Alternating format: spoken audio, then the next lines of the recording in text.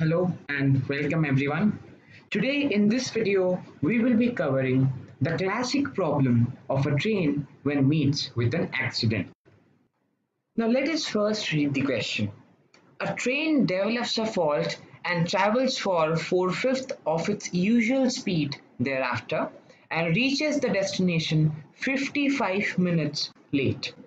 Had the fault occurred 40 kilometers further, the train would have been late by, at the destination by only 45 minutes. We need to find out the usual speed and the reduced speed of the train. So first of all, let us draw a suitable diagram to understand what is happening in the question. So in this figure, we can see that A is the source and B is the destination from which the train starts and the train arrives.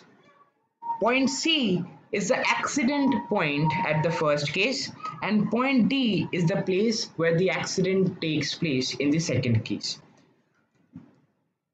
Now since point C and point D are 40 km further, as per the question, we have mentioned the distance between C and D is equal to 40 kilometers. Also, for this question, we have taken two assumptions. First, that the usual time for completion of the journey is equal to t minutes and second that the usual speed is equal to 5x. Why 5x? Because when the reduced speed is equal to 4 fifth of that, we can easily calculate that to be, so the reduced speed would be equal to 4x. Just for the sake of better calculations, I have taken the usual speed to be 5x. Now, if the usual time of the journey is equal to t minutes, for the first case, the time taken is equal to t plus 55 minutes and for the second case, the time taken is equal to t plus 45 minutes. Now, let us not consider the first diagram and move to the second diagram because the train travels with the same speed and takes the same time to cover from A to C in both the cases. Now, in the second diagram, what we need to understand is from C to D, in the second case, that is this case, the train speed is equal to 5x. And after D, the train speed becomes 4x. However, in the first case, throughout the entire journey, the train's speed is equal to 4x. Also, if you look here, the train took 45 minutes more in the second case and 55 minutes more in the first case. So if I say that the train took t minutes in the second case of my second example, then the train should have taken t plus 10 minutes for the first case in my second example. I'm just calculating the difference in the time because here from C to D, the train was covering at a higher speed than the first case. Now comes the most important part. If I mention this point as D itself. You can see from D to B in both these cases the train travels at a speed of 4x so it would take equal time to reach the destination.